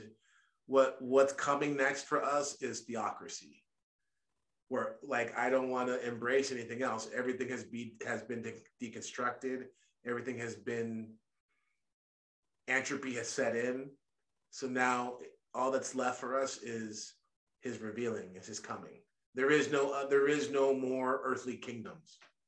Every system has been done. There's nothing left. All that's left is theocracy. All that's left is christ to come and to rule and reign. That's it right? So i'm not wanting to go back right? But that being said it's also important to understand that for many of us we've been tainted with the view of these things. And I think that one of the benefits, and there isn't many, there isn't many, But one of the benefits that we do have in this point in time, from my perspective, is we can try to see history. We can try to see the office of czar and king and all that from a royal path perspective. We don't have to go all the way to the right and make an idol out of it and be like, oh, a king and a czar is like the ultimate thing, you know. But we also don't have to go to the other side and be like, oh yeah, it's all corrupt, it's all this, it's all that, democracy, like anarchy. Like we don't have to do either one of those right? We can look at it and see see it for what it is. We can see it that God used it. God never wanted kings, you know what I mean? But but it's a capitulation, right? But if you're going to have a king, let it be a righteous king. Let the king be a symbol for the ultimate kingship. All that good stuff, right? But if you're going to get into the czar, you get into Czar Nicholas. First, you have the only way to do it is to look at it from a from a from Orthodox Christian lens, meaning spiritually the personhood of Christ, the kingship of Christ. Boom. Boom. That's good. Yeah, because I mean, I'm repenting now, and I'm having to pray to that guy um, of that that saint. Sorry, not that guy, that saint. Because for a long time I was hypercritical of him because I like World War One, and then he doesn't. If you look at it from a certain lens, he doesn't come across as looking so great and so maybe I'm hypercorrecting a little bit and raspy. Yeah, and, and it, it's a good thing to remember too, because one of my favorite lines I like to scandalize. I actually got this one from Dr. James Cone, but Christ was a failure too. Mm-hmm. He he utterly failed from a you know from a worldly from a worldly perspective absolutely from a worldly perspective he utterly failed you didn't hear me you didn't hear me say the obi-wan quote from a certain point of view from a certain point of view. From a certain point of view. Hmm. So, if you guys had to pick a couple of your favorite actors in your favorite era of SNL, what would they be? Wait, so we get to pick one era? Just or, do whatever you want. One, Just one do an era, then a couple actors you like. Like I know, I know probably one of my favorite times was the Farley era. Um, sure. That's that's ten. That's when I tend to go back and watch the most. Is a lot of those skits, and Matt Foley is like one of the greatest. I mean, skits of all time of any any like you know skit show. Um, but I mean, actors, I would have to do Phil Hartman without. Yeah, I was gonna I was gonna put Phil Hartman. I was gonna say Phil Hartman too. Yeah, Phil Hartman. Yeah. But then I mean also Chris Farley, and then I've always had a thing, not like romantically, but a thing for Tina Fey. Politics aside, I think she's absolutely brilliant. I think her humor is like she just gets me. Politics aside, I mean I'm not crazy into her as a person at all. But like her humor is her humor is pretty on point for me. I mean, in terms of in terms of eras where the cast was was great, but where the standout that there was a standout? I mean, Will Ferrell. Well, mm, yeah. Really? I'm not crazy about Will Ferrell. Dude, something's wrong. Something's wrong. Something's wrong there. Something's wrong there. I'm like, the guy just, that we sit and watch Anchorman, and I'm just like, I don't understand. I don't understand. I don't understand how you can't find a few. I I think I think he's a Jews. But this is what I will say. When I go back to like the earlier eras and I look at the skits, and maybe it's just because it's so much of SNL is just not evergreen. Mm-hmm. So much of SNL is like period. It's like of the era. Sure.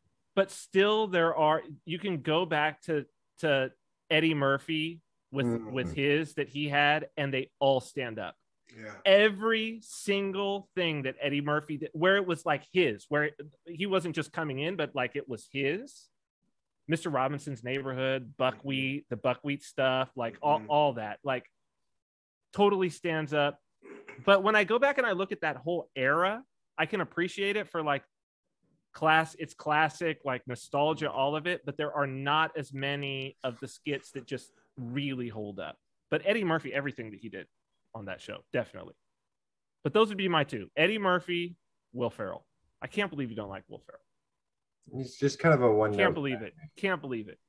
Just I don't know. He's kind of a one note guy, and I'm also like, remember, I grew up on the era because I'm just a teensy bit younger than you. Yeah. I grew up on the era where he made one funny movie and he rode that for like the next th- like two decades.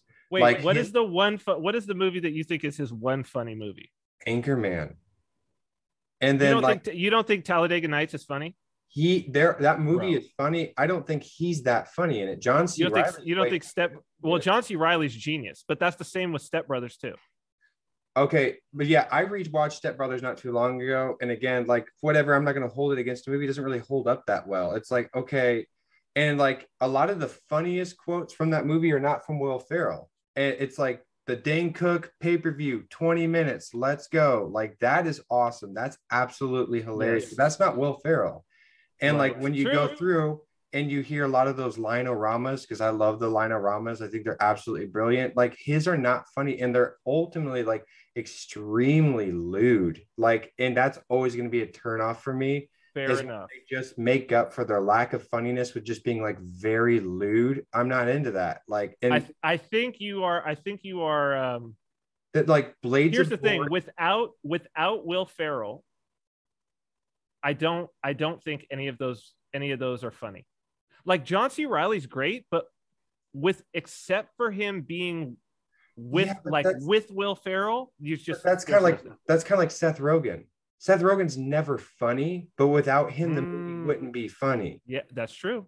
Like Seth Rogen is never like I don't really That's like Seth true. Rogen either. Like he's just like, and the other thing is, is like I think Will Ferrell just kind of seems like a jerk. I'm just like, I'm just not into it. And like, dude, when I was in my house and on partying days, the guys who liked Anchorman were the dudes that were like chugging Bud Light and smashing the cans on their head and being Yeah. like, let's go to Hooters. Like, you know, like the punk rockers dudes were just sitting back being like, it's not that funny. It's like, it's not that good. And like that. I think you're I think you're trying to not like it. I got to be honest with you. oh, no, no, no, no. I think you are. I was think you are hanging out with those actively trying to not like it because of what you associate with it. That you associate liking it with those guys. Look, I have to admit, I have to take the place of like, perhaps there's a grain of truth there. Perhaps there is. I can't act like I know myself so well that that's not the truth. But what I can say is this like, I've just like, I quoted it with people. Everyone thought it was funny, but the whole time I was just like, it's just not really my style of humor. It's like that, that, okay. I will say this and then I'll be done. Cyprian, that Netflix made by bots, the like the Yes. romance one, dude, that's like that's my humor. And like that's just just like just like I don't know what it is. People have called it anti-comedy, and I don't I don't like that. I'm not really into that type of thing, but like Tim Heidecker from Tim and Eric Awesome Show, Yes. like that's my dude. And then um people who follow into that vein of just like Interesting. The most ridiculous, the most like absolute, and like not being loud and squinting and yelling something doesn't make you funny, and that's kind of what I think Will uh, Will Ferrell does. I mean, I don't know. For sure. No, that is. Yeah, I do think that's. I do think that's his humor. I don't. know. That, I no, find it hilarious. like the more cowbell sketch, that's brilliant. I mean, that's absolutely That's what. That's what comes off. What the very first when you said that, and said, "Well, what's the?" That honestly, that's the first sketch that pops into my mind of like perhaps the greatest of all. But it's because Christopher Walken's in. it. Christopher Walken. It's it's like Christopher Walken is the one selling that. he just pops in and he just says and then just goes back out then comes back in and it's like he's like not interacting with the argument he's just continuing to hype up the cowbell Yes. that's what makes that skit brilliant Yeah, it's, it's- not even yes. will again another thing that he's not necessarily funny in he's just loud and everyone else around him is being pretty funny. Like but it doesn't but it does there's something about i'll tell you what it is about will ferrell. I'll tell you what it is about will ferrell. Please please. It is so like like take that sketch right? You take that sketch. And what is funny about will ferrell in that sketch really? The, the the thing that is selling about will ferrell in that sketch is his gut hanging out that's yeah. and the the pants the outfit that he's wearing. That's true. and it's like that's a choice. That's a choice being made by somebody. It's Yeah. not about the line. It's not about any of that. He chose like i'm gonna wear this and i'm gonna act like this and it's gonna be hilarious. And it is. And not everybody would make that choice. And if you go through every single one of his movies what what he's wearing how he's moving the tone of voice that like yeah it seems like in what he's saying that it's about the yelling but it's not. It's the total of everything and not everybody can do that. Not everybody can be like i'm going to wear this outfit. I'm going to wear this wig. And you know those are choices that he made. I'm going to have this facial hair. What's right? that? i'm going to play the like, cowbell like this. He's like goes into a boardroom or something just wearing like Exact, exactly he's yeah the, yeah the little the little briefs and it's Yeah. like uh dude I could I see your argument and I'm not saying you're wrong. I'm gonna check him out again at some point this week. I'll do a I'll watch a compilation of stuff and just see if I- go go holistic but i think what you have the, the key with this is be like he made every single one of these decisions Hmm. he made every single one like all of this is on purpose that's happening here that context could be important. Like it's that same thing with like classic rock. I just have to get over it because just the punk rock people I was growing up with, like, listen, man, you don't like classic rock. And I was like, I Mhm. don't like classic rock. So now I'm like, well, is Led Zeppelin actually good? I don't know. I've never really Bro. because Father, do you got go ahead yeah opinions? Will Ferrell, Will Ferrell. Yeah, I mean, all I got is Phil Hartman. I don't. That's it. he was great he was like he was the best That's all I got. he was really good did you that's watch News. Radio? Huh? Did you watch News Radio? Uh. uh the tv show Yeah, Never seen it. it's wait got wasn't wasn't rogan on that too Joe Rogan's on it. joe rogan was on it, Andy yeah. Dick. What's Andy the Dick. dude um, from Kids in the Hall? Dave. Um, oh yeah yeah yeah yeah he was the guy. Um, He was the alcoholic that only liked sugary drinks. So from Kids in the Hall. Uh, Dave, not oh, why am I? oh, Whatever. it was the show he was on when he died, when he was murdered. Mhm. um that that was the show he was on and it's never gonna go well my only part from that show that i really liked was there's this lady and she's like oh what are you doing this afternoon? She said oh i'm going down to this electronic sale. Apparently crazy or apparently al just went crazy and just started slashing prices everywhere all over his store. And i gotta get down there. I like just her delivery of like that oh um what's his name from oh brother wart that was in it too. Um in King of the Hill, he's in like everything. Uh Stephen, um, Stephen Fry. No, not Stephen Fry. Um, he played the Cyclops. Wow, this is really interesting content to hear me try and remember his name. But um he plays like Boomhauer or he plays like uh Bill on King of the Hill. Uh anyway, no, I can't remember his name. Someone will write it in the YouTube comments, but anyway. yes, Um, so that was our Q and A. Um, and so next week, yeah, we'll get back on with the creed, and I'm actually gonna have some research done and everything done by then, so that I'm not just shooting into the dark.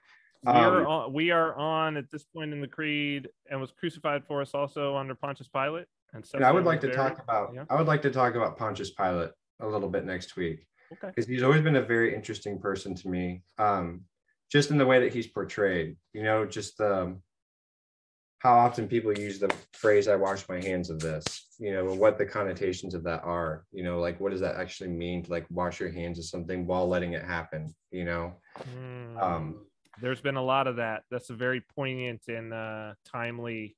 There's been a lot of that as of late. Yeah. Father, is there much that says really quick? Is there much that says what happened to him after after like a little bit. a little bit? Just a little bit. Is it good? Did he end up happy? Was he Yeah, we'll, have, we'll do the research. We'll put it all. We'll, we'll have it for next week. okay. All right, cool. Yeah. Did he end up happy? Keep the keep the emails and stuff coming. Um, we're gonna try maybe at the end of next week. I'd like to answer that third question because it's a good Mhm. one. What was it, by the way? Uh, having to do with a Bible study. What does a good Bible study look like? Oh, let me just answer this real quick.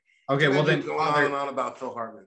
there's Uh, hold on. Okay, all right. We need to So talk re- about you- Phil Hartman, but give me one second. I'll read because there's more to the question. Yeah, So, read the whole question. um, but this is from Loopy Fist. Um, what does a good Bible study look like for both personal daily readings and for groups?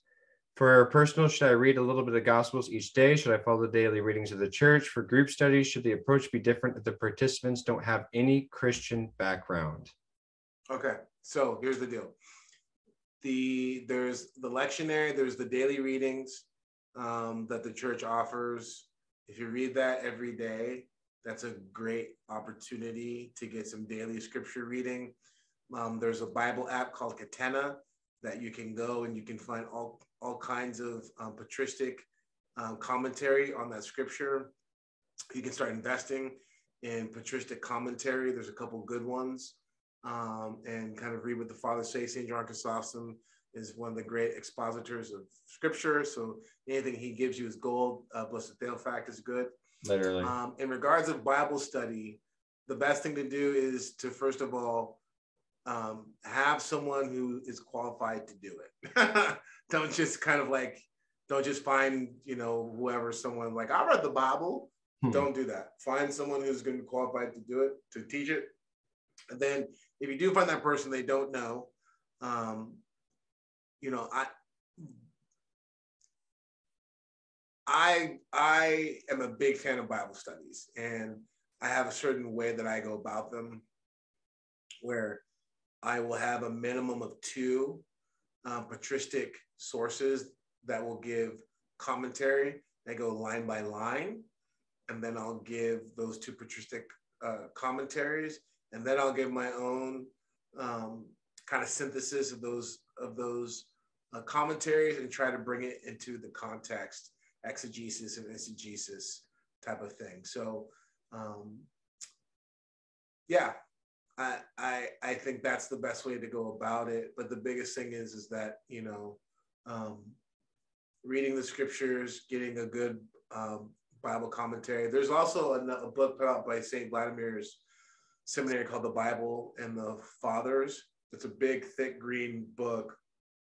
Um, and it gives you the daily readings, and then there's a commentary in that. Um, I think we gave that to you too, Cyprian. You have that, don't you? You did. I have it, and it's excellent. It's, Yes, excellent. it's excellent. I think it's a it's a great investment. If anyone wants to get into reading Holy Scripture is an absolute must, and um, having this commentary is an absolute must next to it. Um, and I don't know if this is the right place. Forgive me, everybody, if I do this for, but um, I I have a cat. We have catechism here that we do on Wednesdays, but when that ends, uh, I I am thinking about picking up and doing a Bible study, and it'll be on Zoom. So if I do that, I'll definitely offer it to the audience here. If anyone in the Royal Path audience would be interested, uh, because I love doing Bible studies, and I think um, we had a we had a conversation about it a couple catechisms ago, and I think I'll bring it back and so yeah, if there's interest, if people are interested, you know, maybe write in and let me know. Well, Uh, uh, Father, we can definitely put it out to the mailing list, so they should Really? they could sign up on the mail. Oh yeah, yeah, yeah. That's what the mailing list is for. Great. So let's just let's do that. We'll put together the emails, uh, you know, with the schedule and everything, and Zoom links or whatever. I'll you and I will will work together to put that together. So Great. if people want people want to get that, uh, get on the mailing list. Andrew will tell you how to get on the mailing list. royalpath.network easy done um and then it should obviously there should be approached differently for people with no christian background like a bible study correct yeah, it needs to be absolutely simple. okay It needs to be absolutely, absolutely simple. um uh and then the last thing i'll say is i forgot but andrew's corner really quick two two things the one of god asked that they destroy the serpents of brass It's kind of a little bit like god like saying this is why we can't have nice things right